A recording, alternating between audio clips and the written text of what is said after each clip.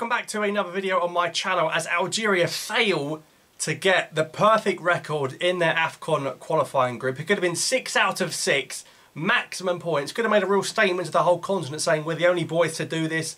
First time it had been done in six years, if we were to do it. it hasn't been done maximum points since Senegal back in 2016 for the 2017 AFCON. Algeria nil, Tanzania nil. I said the score lines in the preview were getting smaller and smaller. I didn't know it was going to go from the days of 7-0 absolutely spanking them with Ghoulam and Taider long shots to nil-nil. That we didn't even score a single goal at home in Annaba in a full house. Not a single goal at home to Tanzania. It's like we weren't even there.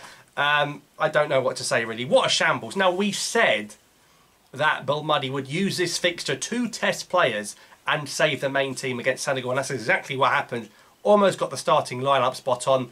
Only real shocks were Chaibi starting on the left because usually he plays as that number eight. He played as a left winger in this game. Uh, we said Mahious and Bouatnani would start. The whole midfield I told you would start Abdelli Kadri and Zorgane. He really should be Zorgan after that one.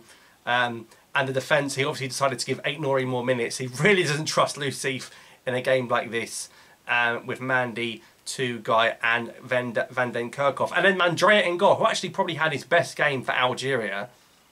Maybe Mandrea is the number one. If Mandrea starts the next game, that means he's just going to keep playing his number one in all the games. If he starts at Zeghba in the next game, that probably means Zeghba is the number one. So, starting lineup, Mandrea with Aït-Nouri, Mandi, Guy and Van Den Kerkhof, Kadri Zorgane and Abdelli with Mahious up top, Bouatnani on the right and Chaibi for the first time ever in an Algeria shirt starting on the left wing.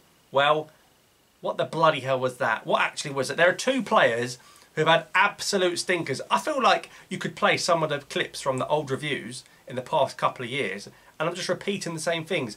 How has Zor what has Zorgane done to get caps, right? The fact that he's in the squad is a shambles. Now, I know you got, see, Ben Taleb low on minutes, um, Adli low on minutes, Aouar's injured, Bennacer is injured for a long time.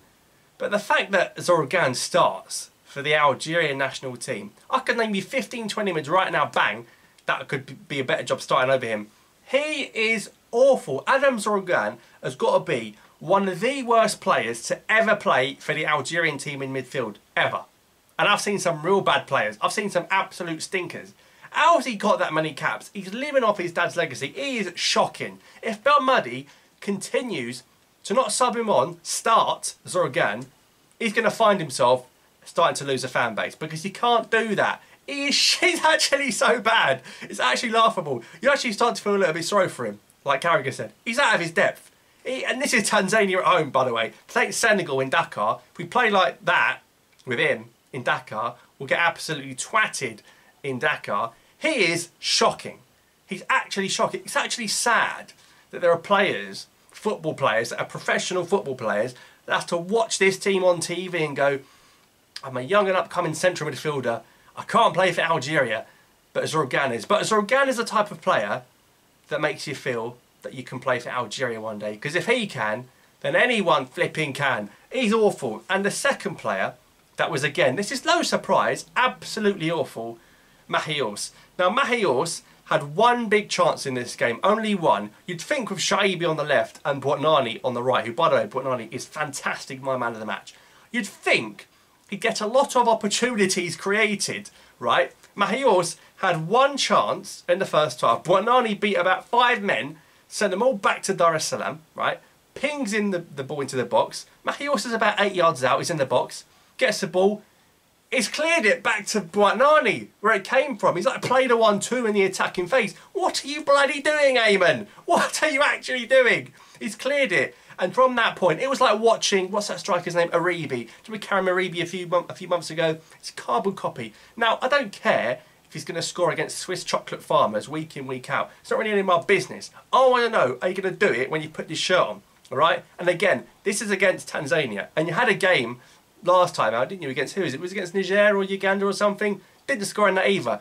Mahious has got to go. As soon as we get the likes of Amine Gouiri, this guy ain't starting again. Gouiri, Amoura, Bounedjah, maybe Delort if need be. Mahious is, oh, he is shocking. So that's the rant about Zorgane and Mahious. And ultimately, when you're starting with these two lads against a side with an Algerian manager that's got a point to prove in Algeria and Adel Amrouche, who has come to draw the game because he knows Uganda are going to slap Niger. So he knows he has to come here and he has to get a draw. And it's very hard to score here, so he knows Tanzania have to get a nil-nil, which he got. He's thinking, oh my God, Samatta's out, but it's okay, let's we're up against Mahious. And by the way, two of the Tanzania back four playing the English non-league and Mahious couldn't score against it. He's thinking, lads, you've got nothing to worry about. It's only bloody Aymen. Do you know what I mean? It's not Amine Gouiri, it's Mahious. So relax. So those two players, I mean, have got to go. Mandrea made a very, very good save. Like I said, he got a clean sheet, to be fair, and that is probably his best performance in an Algeria shirt. I'm happy with him. I'm also happy with Aït-Nouri. Maybe needs to pull his socks up, literally, but some brilliant skill moves. Surprised he didn't get more attacking like he did previously. Maybe he was told to stay back a little bit more. Van den Kerkhof went close with a header. He actually stole a header from Mahious, actually got into the box and got a header close on goal, way closer to the target than Mahious did. If we had Van den Kerkhof or, or Gitoon or whatever he's called this week up front, right, he'd have done a lot better. I'm happy with him. Remember, he's second choice to Youcef Atal. When Attal is fit, to have a guy like Van den Kerkhof that can come in the last 20 if Atal isn't fit to play it, um, it's a really good option. So remember, even if he's not the best, he's not the first choice. Mandi was a captain. Mandi, you got to remember, maybe not the best defensively, but his range of passing, and he did show it in this game, his range of passing out the back is very good, and probably something not a great strength in our defence. So Mandi's passing was good, and Tougai cleared everything that came his way, got no problems there. Zorgane useless. Abdelli, right, which seemed to be the furthest of the three centre mids. He was quite further forward, wasn't he? He was in that sort of Chaibi before Feghouli role, number 8 slash number 10. He could have had a hat trick in the second half. I'm being dead serious. Abdelli could have had a hat trick. If Chaibi was in that position in the middle, that number eight position in this game, he would have banged at least one of those in, right? He literally could have had a hat trick. He fluffed a lot. Um, now, he worked hard, but Abdelli won't win you the AFCON if he's starting. I haven't got a problem with him. It's not like he's Organ. He gets in the right place. It's, it's, it's the wrong guy in the right place, what I'm trying to say. But he's not a disaster. Kadri could be a real gem. This guy's impressive. He covered every blade of grass. He was everywhere. And he's not the tallest fella. He's, not, he's quite a short geezer. But I thought Kadri was really impressive. And I'm surprised he's not got a big move. I think Kadri's got to leave Belgium much before Zorgane does. If Zorgane gets from Belgium to Holland or France, right, before Kadri, then the scouts are, are like high as a kite. Because Kadri's very, very good. And I'd seriously consider Kadri on the plane to Abidjan next January. I think he's a very good footballer. So is Badruddin Bouatnani. This guy is fantastic. The, the first 15 minutes, Tanzania couldn't believe it. They're thinking, oh my God, Mahrez isn't playing. They're probably wishing he was. Bouatnani, the hunger, the desire, most certainly the man of the match. He was fantastic. Really, really good Bouatnani. I'm so pleased he got that start. The ref didn't help him. Well, the ref didn't help our team full stop, to be honest, because every time we basically got past the, the Tanzanian middle phase, um, he decided to blow his whistle for no reason. And Belmadi started to get really wound up. It got to the players, I think, a little bit, that referee. Um, I've spoken about Mahious. On the left, Chaibi, good player. I don't know if that left wing is his best position. I think I do like Chaibi in the centre more. We saw him have a shot when he moved to the centre later on because Benrahma, Amoura and Mahrez, probably the front three for Senegal, probably Algeria's front three if you to sort of gauge why he kept those three. You see Benrahma go to the left, Chaibi come to the middle, and he looked a lot better in the middle for me. Amoura, a lot of crosses went in, and he's not the tallest guy. He had to sort of fight and out muscle, and that's kind of what led to the little argy-bargy handbags at the end. Um, and Mahrez didn't do much. He actually picked up a bit of a knock in that game. Be interested to see what happens with that one, but hopefully he'll be okay because he didn't come off. And then we saw Boudaoui and Zerouki, two players you expect to start the game against Senegal, just much better options than Abdelli and Zorgane. And maybe we'll see Boudaoui, Zerouki and Feghouli in that Senegal game, which is going to do much better. Well, it's hard to do much worse than, uh, than this team did. So, Algeria nil, Tanzania nil. We finish on 16 points out of 18. It's shocking. We haven't scored, we've barely scored any goals in this campaign. I don't think we've had to get out of first gear, to be honest, and we've got 16 points. Tanzania second in eight points. They get the job done. Uganda went to Niger and Marrakesh. They got their job done but we didn't do our bit for, uh, for them. So Uganda win 2-0 in Niger it's not enough. They miss out by a point. They were begging for Algeria just to score one goal. If we scored one goal, it would have swung. Uganda would have got second. Tanzania would have been out. But what a moment for Tanzania. The two Algerian managers in this group prevail. We will be seeing the Algerian manager Adel Amrouche in the Africa Cup of Nations group stage. And we could draw Tanzania again in the group phase. Got to improve if we do face them again. Elsewhere, um, Libya and Equatorial Guinea played out a draw.